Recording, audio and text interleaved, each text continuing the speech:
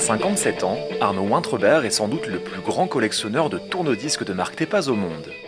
Dans son garage transformé en musée, on retrouve ce qui a fait le succès de la marque dans les années 60 et 70. Les modèles Présence, Ballade, Octave, le 448, sans oublier le modèle Oscar qui rencontrait un grand succès auprès des jeunes. Cette passion, Arnaud Wintrebert la cultive depuis son enfance.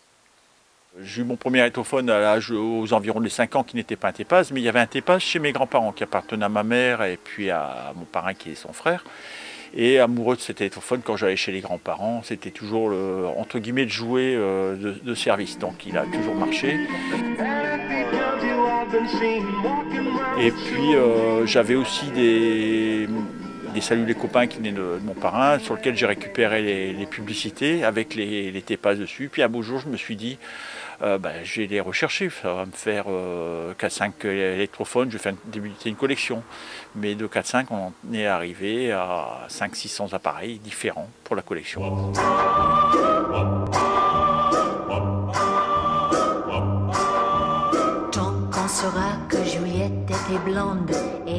La particularité de cette collection, c'est que tous les appareils fonctionnent. Mais on pourrait penser qu'avec la faillite du groupe au début des années 80, les composants d'origine soient difficilement trouvables. Pour Arnaud Wintrebert, ce n'est pas vraiment un problème. Avec le temps, il s'est composé un stock de plusieurs centaines de pièces permettant de remettre à neuf les tourne-disques chinés sur internet ou lors des brocantes. Dans son grenier, près de 1500 tourne-disques sommeillent en attendant d'être restaurés. Les pièces peuvent devenir compliquées à trouver. Moi perso, j'ai beaucoup de chance parce qu'en étant collectionneur, j'ai connu euh, des amis euh, collectionneurs sur la région de Lyon où les appareils étaient fabriqués. J'ai eu la chance de tomber sur une personne qui avait racheté une partie de la faillite de l'usine. Donc moi, je lui ai racheté son stock.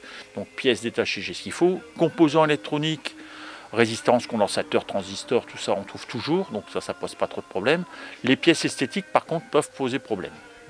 Là, ici, j'ai trouvé quelqu'un qui me refabrique de la pièce.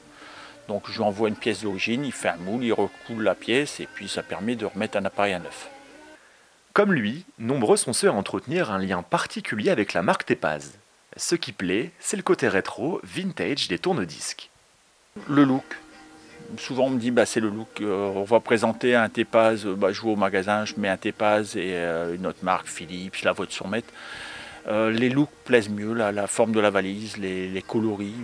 J'ai des gens qui, ont, euh, qui sont plus âgés que moi. Moi, je viens d'avoir 57.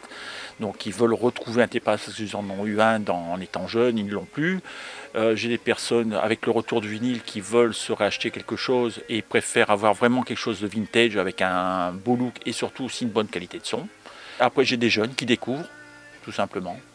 Dans quelques années, Arnaud Wintrebert prendra sa retraite.